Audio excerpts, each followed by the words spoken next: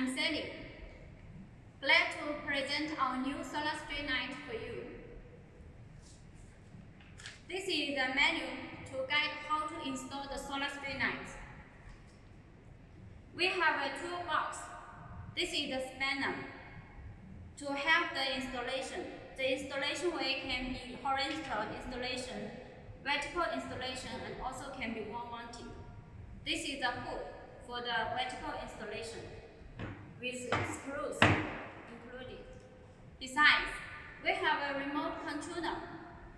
It's an optional accessory.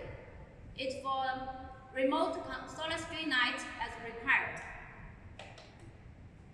This part is LED modular.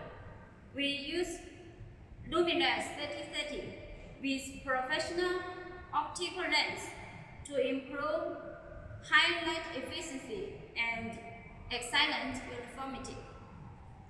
This part, there is a laser battery inside.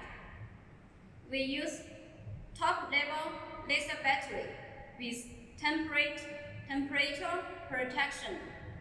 Next to the battery, there is an MPPT controller with overcurrent, short circuit, and temperature protection. Next the controller, there is a microwave sensor for intelligent control. Around this part, there is a LED strip light for environment decoration. It's optional with three colors, green, blue, and yellow. It's also very convenient for maintenance. We can remove the cover from the front side. There are only four screws. It's a luminant design, die casting, luminant die. The small one is from 20 to 30 watts, and we have a big one from 40 to 60 watts.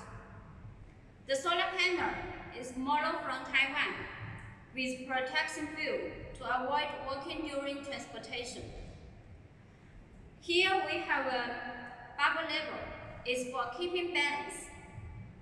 It's very convenient for installation. This solar street light has been passed by CE IP66 and IK08. It can be applied in street, parks, garden, village, and any remote area. It's very good product and high performance product. Hope you will like it. Thanks for watching.